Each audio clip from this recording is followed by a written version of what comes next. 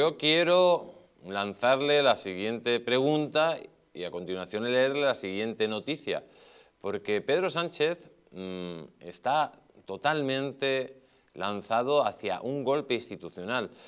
Vemos, por ejemplo, cómo ha controlado el CNI, vemos cómo controla el CIS y ahora vemos ese asalto al INE, a Indra y también ese asalto al Tribunal Constitucional. Vamos a ver la siguiente noticia que nos lo cuenta. Dice, el afán controlador de Sánchez del CNI a los jueces pasando por Indra y el INE.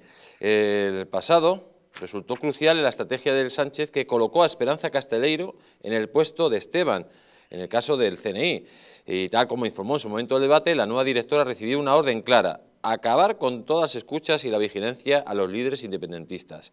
Respecto al INE, las intenciones del Ejecutivo podrán eh, incidir en la independencia del INE, que cumple tareas tan fundamentales como realizar el censo electoral, elaborar estadísticas sobre asuntos tan relevantes como el PIB, la balanza comercial o el paro. En el caso del CIS, Solo voy a leer eh, una frase del señor Tezanos. No se me ocurre nada que Sánchez haya hecho mal. Así se expresó el director del Centro de Investigaciones Sociológicas, Félix Tezano, en una entrevista concedida este fin de semana al diario El Mundo. A Indra, ya son seis los consejeros independientes que han dimitido en apenas una semana del Consejo de Administración de la Tecnológica por su desacuerdo con el cese y no reelección de cinco vocales de este órgano de gobierno, acordado el pasado jueves por la Junta de Accionista.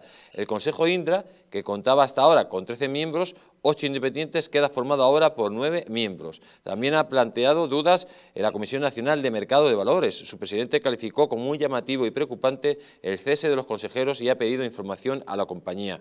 Y ya por último, el control del Consejo General Poder Judicial y del Tribunal Constitucional.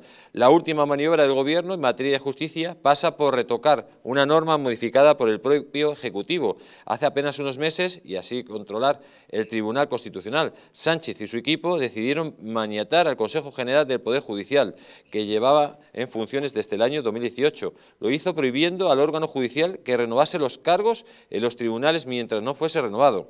Sin embargo, y tras el bloqueo de las negociaciones con el Partido Popular, que permitirían desengrasar este entuerto, el Gobierno ha decidido que habrá una excepción. El Consejo General del Poder Judicial podrá renovar dos de los magistrados del Tribunal Constitucional. Don Roberto, esto vuela directamente a golpe de Estado desde el propio Estado. Y hay que decir a la gente que esto no es broma, porque lo hemos visto en países, por ejemplo, como Venezuela. El señor Chávez ganó las elecciones de forma legítima y luego fue destruyendo el Estado. Eh, por ejemplo, el señor que está en Nicaragua ha hecho más o menos lo mismo. El que está eh, ahora en, en Colombia pretenderá hacer lo mismo y el de Chile exactamente lo mismo. Esta gente tiene una hoja de ruta muy clara. ¿Cree usted que después de la debacle en Andalucía, Sánchez va directo a ese golpe? Vamos a ver, total y absolutamente. Eh, eso lo tienen que tener ustedes muy claro. Sánchez, después de eh, eh, la derrota de Andalucía, donde Indra, a pesar de que todavía no la controlaban, ahora ya la controlan, a pesar de que no la controlaban, manipuló totalmente los, los votos por correo, todos los votos por correo de Andalucía, como ocurrió en Castilla y León y como ocurrió en Madrid, fueron para el PSOE, y eso lo hizo Indra. Eh, pero no fue suficiente. Entonces, él lo que se ha dado cuenta de que esta manipulación parcial de los votos que podía hacer Indra no le sirve para mantener al poder, porque lo ha perdido en tres ocasiones, ¿eh? en muy poco tiempo. Bien, entonces ha decidido tirar por la calle en medio e ir adelante con el plan que ya tenía, que es exactamente el mismo plan que Hugo Chávez, con el que Hugo Chávez eh, implantó la tiranía en Venezuela. Eh, hay dos eh, elementos eh, esenciales. Has mencionado el INE, pero no vamos a entrar en ello. Ah, porque los dos elementos esenciales son Indra y el Tribunal Constitucional. ¿Qué pasa con Indra? Indra es una empresa multinacional, que, tecnológica, que tiene todo mm, el control del voto, todo el software del voto. esta empresa ha estado trabajando, como digo, para el Partido Socialista desde hace ya tiempo, cuando todavía no la controlaban del todo. Calcúlense qué es lo que han hecho. Bueno, lo que han hecho es una ilegalidad eh, inaudita, eh, porque mm, tres empresas, la SEPI, que es del Estado, mm, Amper, que es la que controla Prisa, la controla un, armenio que ha perdido ya 300 millones de euros en Prisa. Y el dinero no es suyo, el dinero es de los armenios, no es de él personalmente. Y otra empresa vasca, ¿eh? ligada al PNV, el siempre traidor PNV, porque el, el, PNV siempre ha traicionado a los gobiernos de España, al de la República y a todos los demás. Bien, estas tres empresas, entre las tres, sumaban más de, capital suman más de un 30%. Y han cogido por las buenas y por las bravas y han hecho una cosa que es de cárcel, que han cambiado a todos los consejeros ¿eh? y se han hecho con el poder, que no les eran afines, y se han hecho con el poder total en Indra. Para esto, ¿eh? la ley prevé que tenían que haber hecho una OPA, porque tienen más del 30% entre las dos, y no podían hacer esto. En cualquier otro país civilizado, los directivos de la SEPI, los directivos de Amber y los directivos de esta empresa del PNV hubieran ido directamente a la cárcel.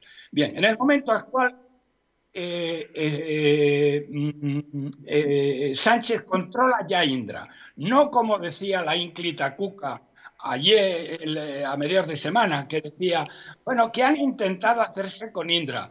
Hombre, Cuca, por Dios, que no te los periódicos. Se han hecho ya con Indra, que no te enteras. ¿eh? No es que se vayan a hacer, es que se han hecho. Es suya al 100%. Bien, esto les permite controlar eh, los votos, de momento los votos por correo, pero esto es necesario, pero no es suficiente. Para ello, ¿qué necesitan? Necesitan el Tribunal Constitucional, y es lo siguiente. Con el Tribunal Constitucional, ¿eh? si el PP se lo permite, que se lo va a permitir porque están demostrando ser la derecha cobarde, una vez más, eh, van a hacer dos cosas. Una, ya lo has señalado tú, que es ilegalizar a Vox, lo cual tiene guasa, ¿eh? que una banda terrorista, una banda de asesinos ¿eh? y una banda de sicarios de Maduro decida que hay que ilegalizar a Vox y lo diga el Tribunal Constitucional. Bueno, los de Vox ya son mayorcitos y ya sabrán lo que tienen que hacer. Pero lo más importante en relación al golpe de Estado es que van a cambiar el sistema electoral. Es decir, van a decirles a ustedes, miren, el sistema electoral que tenemos en España, con papeletas ¿eh? en las urnas, es un sistema del siglo XIX. Y estamos ya en el siglo XXI. Y nosotros, que somos gente muy moderna, gente progresista, se llaman a sí mismos progresistas, estos canallas, eh, vamos a cambiarlo por un sistema informático, por un sistema digital. Y entonces van a, eh, van a cambiar el sistema de las papeletas, que Indra no lo puede controlar más que parcialmente, y no ha sido suficiente, como hemos visto en Andalucía, como hemos visto en Castilla y León y como vimos en Madrid, eh, mm, entonces lo vamos a hacer por un sistema electrónico. Y con el sistema electrónico, entonces Indra hace lo que le da la santísima gana, es decir, le puede dar el 99% de los votos al PSOE y se quedan más anchos que largos. Indra además tiene experiencia en este tipo de cosas. Indra ha manipulado las elecciones en Nicaragua, ha manipulado las elecciones en Colombia, ha manipulado las elecciones en Chile, ha manipulado las elecciones también en Estados Unidos, ¿eh? donde le dieron el poder a Biden cuando las había ganado Trump. Bueno, esto fue Indra. Es decir, lo que él necesita para el golpe de Estado es el control de Indra, que ya lo tiene, que ya lo tiene Cuca, a ver si te enteras. No, no van a intentarlo, ya lo tiene. Y el Tribunal Constitucional, que están en ello. Y dice, y dice eh, Cuca Gamarra, porque esto da idea que piensa la oposición, y dice, esta situación que tiene eh, Sánchez es una situación de desesperación, de fin de ciclo, de que están acabados y agotados. Cuca, la verdad es que no te enteras de nada. Eres más tierna que tía de la madre, por no decir una cosa peor. No están agotados, no están en fin de ciclo, se están fortificando, que no os enteráis en Génova, se están fortificando para que no volváis a ganar las elecciones en la vida. Y vosotros, vamos, en tu nombre, es la portavoz, dice, no, esto es que están ya arruinados y ya están desesperados y no saben qué hacer. ¿Cómo que no saben qué hacer? ¿Eh? Han controlado India y van a controlar el constitucional y las próximas elecciones, una vez que hayan cambiado el sistema electoral de las papeletas, que Indra solo puede controlar parcialmente, ¿eh? van a ir a un sistema moderno, ¿eh? como ellos, electrónico, y eso lo controlan absolutamente, porque eso ya no lo puede comprobar. Es un golpe de Estado en toda regla. A ver si os enteráis en la calle Genova. O están dando un golpe de Estado en toda regla.